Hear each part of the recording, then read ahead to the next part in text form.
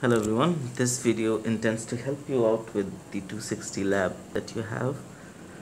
So let's begin by looking at the trainer board.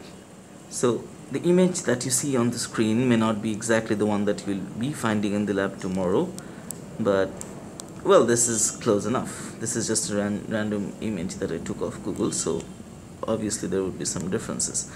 I think around this edge you're going to see number of uh, voltage terminals in the ones in the breadboard trainer boards that are actually in the lab.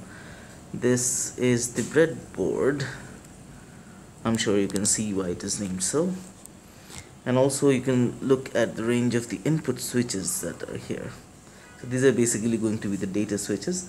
For the first lab what you're going to do is actually verify the truth tables that you learned in theory for example for the AND gate you know that the output is only true if both the inputs are true. So here of course we assume that an input of 1 or plus 5 volt here is true and 0 is false. So which means if you connect let's say two of the switches to an AND gate and connect the output to one of the LEDs these are the LEDs here then the LEDs would only light up if both these switches are turned on okay so moving on. So if you take a closer look at the breadboard you see this aisle in the middle. This is where you're going to place the ICs we're going to talk about that in a minute. If you look at the breadboard these rails are actually shorted vertically as per the image. These lines are horizontally shorted. Often there are cases when these would be broken into sub-segments, but there are easy ways to understand this. What you can do is you can connect a wire from a data switch here let's say and then if you connect this end to a LED then you would immediately know whether this one is actually shorted all the way or not. Okay so again this side is also vertically shorted which means if you place an IC here somewhere if you want to connect to let's say this is pin 1 and if you somehow wanted to connect to pin 1 then all you would need to do is put the wires in any of this any of the pins here. So let's take a closer look at the ICs so this is one of the sample IC that again of course I took off the internet.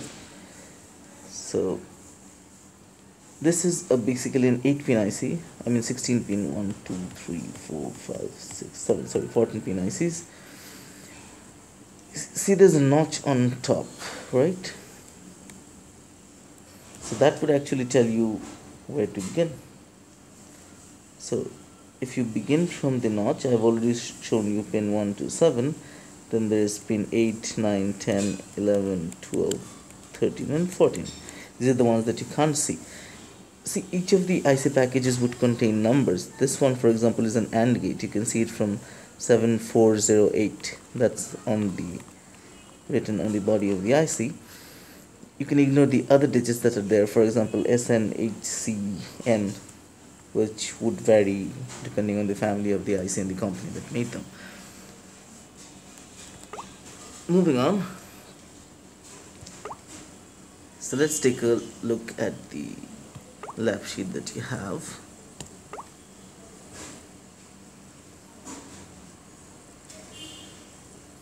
Okay here we go. So you see that there are numbers here.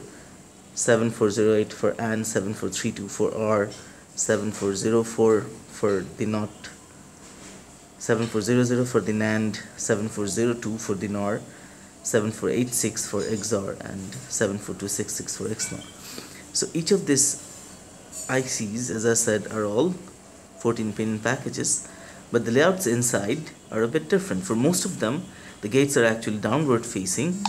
Pin 7 is the ground pin and pin 14 is plus 5 volt uh, let me just turn off Wi-Fi for a second. Okay so if you look here you'll see that the 7408 which is AND 7432 which is OR the NOT the NAND 7400 are all downward facing.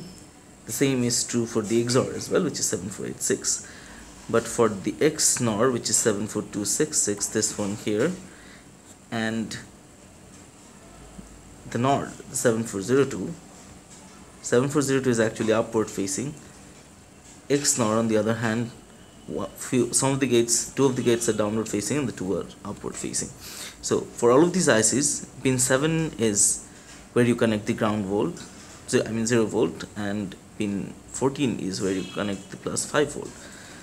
So that is for the power for the IC if you reverse these terminals you'll just burn the IC so these are all except for the NOT gate all of these are quad gate ICs I mean what that means is they have four ICs inside as you can see.